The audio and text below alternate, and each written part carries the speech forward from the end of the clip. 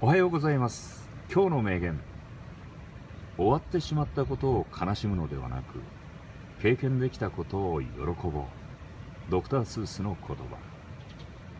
私はもともと落ち込みやすい性質だったんですがこのところ変わってきてます。それは自分でこう決めたからです。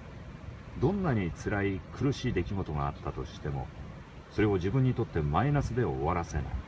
必ずその経験をプラスにつなげていく。